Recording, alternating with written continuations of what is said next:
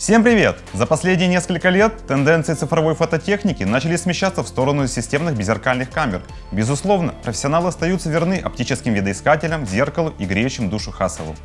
Однако, еще раз однако, компания Sony начинает менять и понемногу затягивать свои сети ищущих, страждущих перемен, новаторства, компактности и удобства.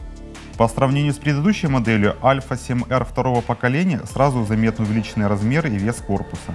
Рукоятка камеры стала больше, и на нее переместили кнопку спуска затвора, селектор включения камер и функциональный диск управления. На верхнем торце корпуса диск выбора режимов получил блокиратор, дабы избежать случайного переключения. Рядом расположился диск компенсации экспозиции и две программируемые кнопки C1 и C2, а чуть ниже лампа подсветки автофокуса.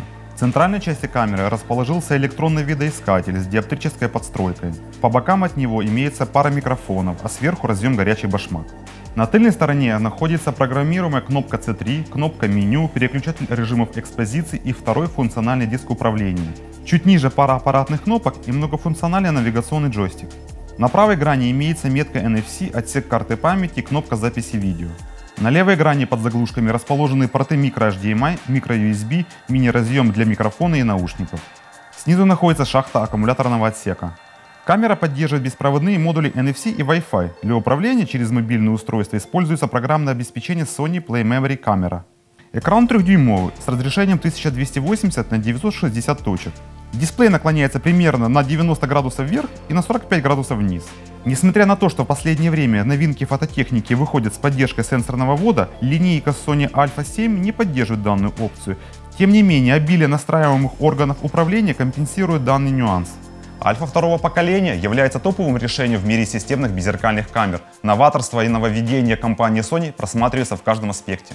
Полнокадровый датчик с задней подсветкой, 399 фазовых точек, высокая светочувствительность и широкий динамический диапазон заставляют по-иному взглянуть на мир через видоискатель камеры. Кто-то может посчитать это революцией, а кто-то всерьез задумается о смене религии.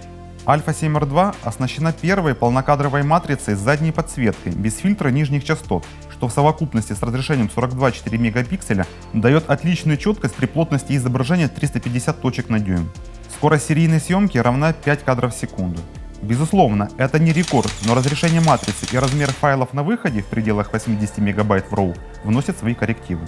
И еще одна особенность – это первый full frame аппарат с возможностью записи видео в 4К. Камера оснащена 5-осевой матричной стабилизацией.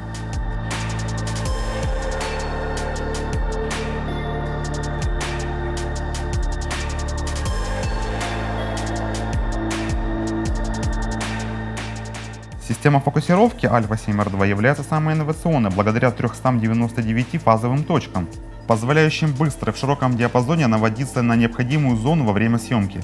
Технологически видоискатель был полностью переработан. Новая конструкция состоит из четырех линз с двухсторонними асферическими элементами. Его разрешение составляет 2 миллиона 300 тысяч точек.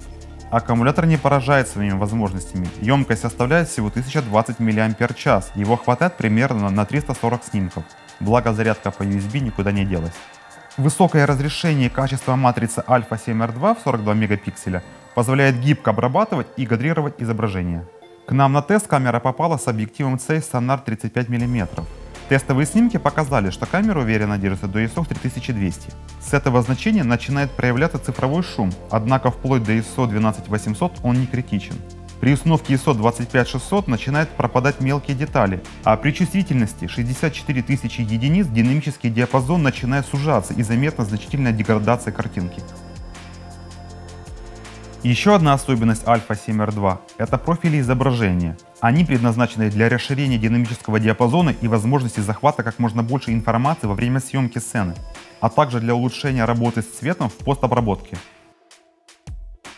Естественно, есть и некоторые нюансы, а именно не столь эффективная система стабилизации, как это было обещано, и уж больно скромный запас автономности. Надеемся, в дальнейшем компания Sony сможет это улучшить. Всем спасибо за внимание, подписывайтесь на наш канал, ставьте пальцы вверх и оставляйте свои комментарии. До скорого!